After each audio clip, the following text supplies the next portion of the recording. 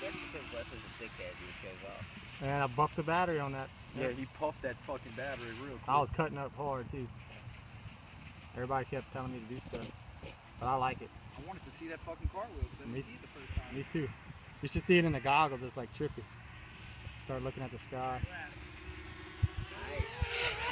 Oh, snap! nice I got ending, that. Though. I got it. definitely like that. He got that on tape. Was worth it. That was worth the price of admission.